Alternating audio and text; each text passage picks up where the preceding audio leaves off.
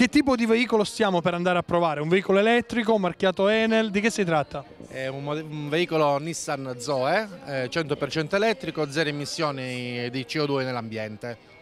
È un veicolo che praticamente si muove con uh, ricarica elettrica, quindi con la corrente nelle nostre case e questo consente al mezzo di potersi spostare qualsiasi, su qualsiasi territorio anche lì dove ci sono delle zone a traffico limitato o comunque situazioni dove lo smog raggiunge dei livelli importanti dove vengono a essere diciamo, bloccate le autovetture col motore termico. Queste macchine al 100% elettriche hanno la possibilità di circolare liberamente. È una ricarica appunto di questa vettura che percorre 100 km ci vogliono circa eh, a pieno carico un, 6-7 euro più o meno, questo, diciamo una, sotto i 10 euro. I tempi di ricarica? I tempi di ricarica vanno da un minimo di un'oretta a due ore per averla completa, poi dipende sempre dalla, dalla percentuale di ricarica, che, o meglio dalla percentuale di carica che ha la batteria al momento in cui si va a ricaricare l'autovettura.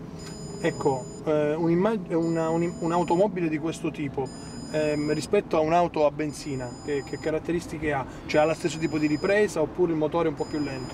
No, eh, da questo punto di vista bisogna dire che il, il motore termico in sé per sé ha comunque una prima inerzia eh, che deve vincere per poi dare trazione alla, alle ruote. Nel caso specifico invece la coppia massima diciamo, della, della, del motore elettrico viene completamente immediatamente eh, inviato diciamo, come input alle, alle, ruote e quindi si ha immediatamente la, la ripresa giusta. Dopo aver conquistato la quattordicesima bandiera blu della FE ed aver ottenuto per il terzo anno consecutivo le cinque vele marine e il prestigioso riconoscimento di Lega Ambiente e Touring Club Italiano, prosegue l'impegno dell'amministrazione comunale di Roccella Ionica guidata dal sindaco Giuseppe Certomà per promuovere tra i cittadini la cultura della sostenibilità ambientale e nuovi stili di vita. Significativi benefici economici per i cittadini che decidono di avvalersi di questo tipo di mobilità perché il veicolo elettrico, che ha un'efficienza energetica due volte superiore a quella di un veicolo tradizionale, consente di ridurre i costi per il rifornimento di oltre il 50%. Con tale obiettivo è stata organizzata a Roccella la giornata della mobilità elettrica, ovviamente in collaborazione con Enel, la nostra cittadina con questo progetto apre una nuova frontiera sul tema della tutela ambientale, ha affermato Vittorio Zito, assessore all'ambiente del comune di Roccella Ionica. Con eh, Enel eh, facciamo due cose molto importanti. La prima è una cosa concreta, molto concreta, inauguriamo la colonnina di ricarica per i veicoli elettrici che posta in prossimità del Parco Giochi Bambini, una colonnina di ricarica, ricarica gratuita e eh, saranno installate poi nei prossimi giorni altre tre postazioni di, eh, di ricarica. Quindi Roccella è, eh, si candida ad essere il primo comune in Calabria a mettere a disposizione dei cittadini e soprattutto dei turisti che eh, affollano le nostre strade eh, anche questo ulteriore servizio, cioè il servizio di ricarica gratuita elettrica per i veicoli eh, elettrici. La seconda cosa eh, che può sembrare meno concreta ma non lo è è invece eh, l'annuncio e l'avvio di una strettissima collaborazione con Enel che eh, prevede una serie di altri interventi. Eh, durante il convegno li declameremo tutti, mi preme ricordarne solo uno in questa fase, c'è un'importantissima eh,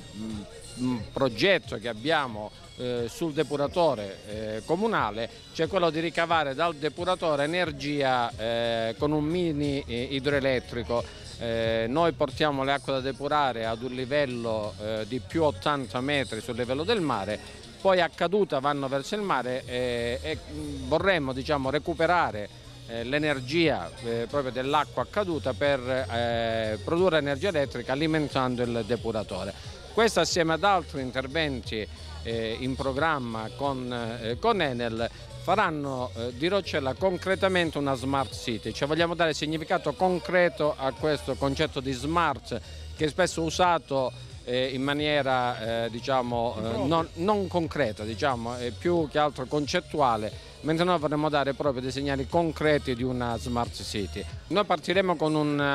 con l'elaborazione di un piano energetico comunale cioè di una mappatura sostanzialmente di tutti i consumi eh, del comune e eh, la definizione di interventi di ottimizzazione di questi consumi, a partire dai lampioni per finire all'illuminazione all'interno degli edifici pubblici eccetera. Eh, con Enel il rapporto è iniziato eh, a partire dal depuratore comunale. Eh, noi abbiamo fatto un'operazione tra l'altro poi eh, anche replicata in altri enti, cioè quella di eh, consolidare i debiti che avevamo nei confronti di Enel, di cambiare classe di merito in qualche modo nella fornitura risparmiando eh, ben 180 mila euro all'anno solo da un punto di vista amministrativo. Da lì è partita un, uh, forte, una forte collaborazione eh, con Enel, eh, di recente ci siamo incontrati con i responsabili eh, comunicazione, con i responsabili per la Calabria e la Basilicata di Enel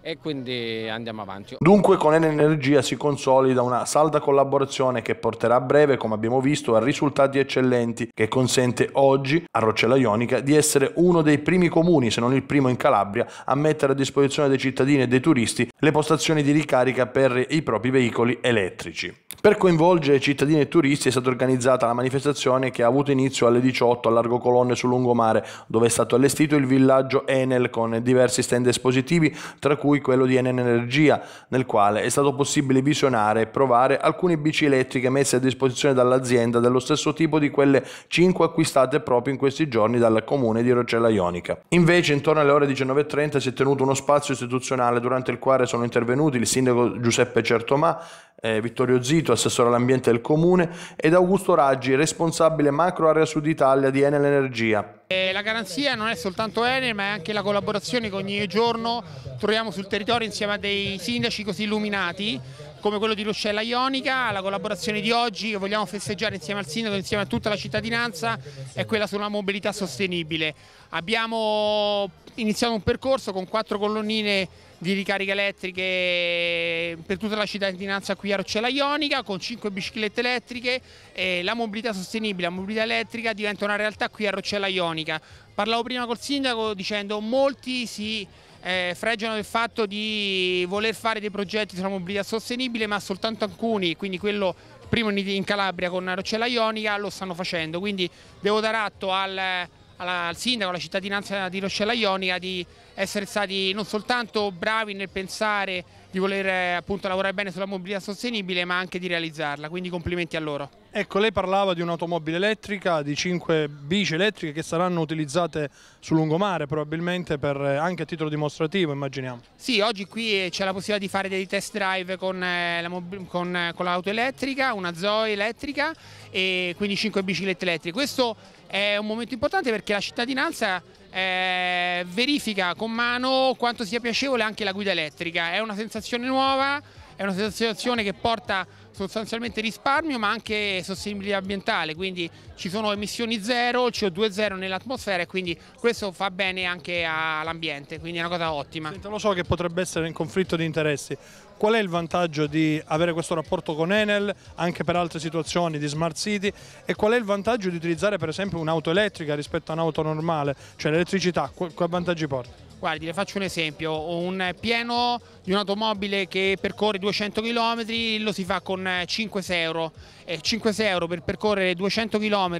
in piena sostenibilità con il pieno rispetto dell'ambiente credo che sia un vantaggio e un traguardo che tutti i comuni in Italia dovrebbero avere. Dunque nell'occasione sono state inaugurate anche quattro nuove colonnine per la ricarica elettrica sia per bici che per autovetture che sono state fornite di energia elettrica